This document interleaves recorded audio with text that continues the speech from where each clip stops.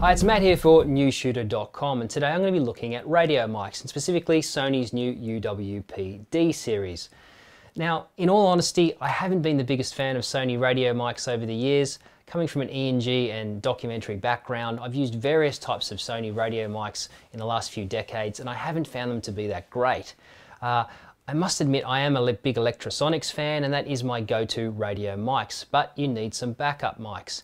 And I have been using uh, Sennheiser G2s. Now they are an older version and I actually hate them more than I hate the original Sonys. Uh, I found the build quality horrible. They used to break up all the time. The connections were really bad.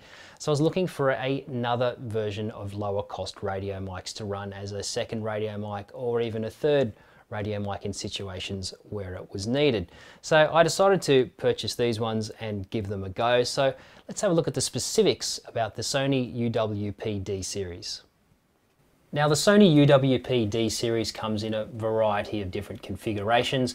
I'm going to look at two of them today. One of them features a body pack transmitter and also uh, a receiver and the other one features a, an integrated uh, transmitter into a hand mic that also comes with a receiver.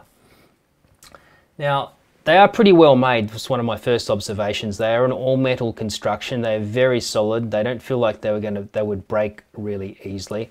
And uh, what I really like too is specifically on the, uh, on the receiver, it has comes with two aerials as opposed to some of the old Sony systems in the past that had one aerial and they were very flimsy. Now these ones are really sturdy and, and what's really great is you can rotate the angle of the antenna anywhere you want all the way uh, around to get it into the best position because we all know when we sometimes put these radio mics on top of cameras uh, you know the, the, the pre-configured aerial may be in the wrong place and maybe touching metal or maybe hitting your camera and in the way. So you really want to have the versatility of being able to move around the aerials uh, to put them in the best possible position now, a couple of the other great things I like about these radio mics is that they both have, uh, on the back here, they have a USB uh, input. So you can not only power the radio mics if you want uh, using a USB source, if you happen to have some sort of power distributor or, uh, you know, you run out of power somewhere on the road, but you still got uh, you know, something that may charge your iPhone or something, for instance,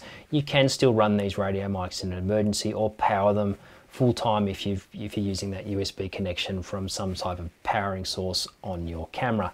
I did find that the batteries in these uh, lasted an awful long time. Uh, you know, my Lectrosonics is pretty is pretty power hungry, but these uh, tended to run for hours and hours without any problems at all using rechargeable batteries, which is another really good feature because I don't like, you know, I operate one man band a lot of the time. I don't like looking around to see if suddenly my radio mic is shut off or it's run out of power. Now the other thing that was really cool that I liked about these, that has been featured in, and I must admit in other brands of radio mics, but it's great to see Sony finally integrating it, is the ability to sync them up using infrared. So what you can do is you just turn on the transmitter and hit sync. It finds the best possible channel with the least amount of interference. It then comes up and asks you to sync. You press the button, then you hold the, uh, the uh, transmitter near the receiver and it will by infrared send that frequency and sync it up to your transmitter. So it's a really good system. You don't have to go through and manually punch in and try and find frequencies. It does it that it does it so quickly and automatically for you. Uh, you know, are another really good uh, feature. Now, the only thing I found a little bit distracting, I must say, with this is they don't give you any instructions in the that come with the packaging. They give you a good old-fashioned CD. I don't know what uh, Sony were thinking, but all the instructions come on a CD. I haven't been able to find them online, so to find out how to use some of these functions, I had to go and find a CD or DVD reader because most of the new computers don't feature one. Put it in there, open it up to see the manual. So I wish they had have included an actual paper manual or made it downloadable somewhere. I mean, maybe it is out there somewhere, but they don't make it uh, terribly easy to find if it is. Now both of them feature a nice LCD display which is very bright. You can actually increase the brightness on there, change them through. The menu system is pretty straightforward uh, to, to operate once you've, uh, you've read the instructions of course. Um, now the receiver is quite good. It's got a nice, uh, it's got an output and a headphone output so you can monitor directly by just plugging your headphones in. Uh, one of the things I really like is the connections are really sturdy. Sony's thought about it. You screw them in, they are rock solid. So I've no problems with those popping out or uh, causing interference or anything along those lines. Uh, as I said before, the construction is really good, and even all the accessories that come with it are, are great. It's great to finally see radio, you know, um, windsocks, for instance, that screw on, that don't just sit on there and fall off and you've got to go and buy a new one. These ones actually screw on. They also come with a nice little mic clip. They come with belt clips, and they also come with a nice little plate uh, that you can see here. It comes with a cold shoe mount that you can put straight onto a camera. None of these are optional accessories. They all come uh, included in the kit. Now I usually use Lectrosonics as my primary radio mic because I really do think they are the Rolls Royce of radio mics. But the Sony's a really good value for money. For about $700 you're getting a really good quality product. I think value for money versus performance they seem to be very good. Um, I was using them on a recent uh, documentary shoot that I was doing and it was uh, shooting at a lot of military installations and places where there was a lot of RF traffic.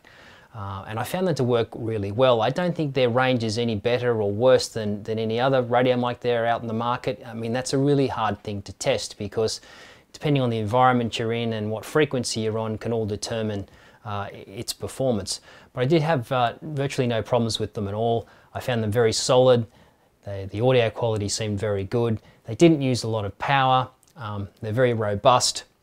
I like the way the aerials moved around. So all in all, like a really great mic. Now the other one that I can show you is, this is one of the other versions here that you can buy. Uh, I'm not sure of the model number straight off the top of my head, but there's two different versions. You can get an integrated um, plug-in pack in the bottom to put into, uh, into your own hand mics, or there's this really good version here that comes in a hand mic. The wireless uh, radio mic is integrated inside, comes with a normal uh, receiver just like this one here. So another really good uh, hand mic if you're working in ENG, uh, in ENG world for instance or whatever, uh, to get microphones in and out for, uh, for reporters or to put on uh, stands as well. It does come with a little clip to put onto a stand Uh, for press conferences or events or things like that. Uh, a very handy, another good option out there. So if you want more information about the Sony UWP-D series, you can go to the Sony website and check it out.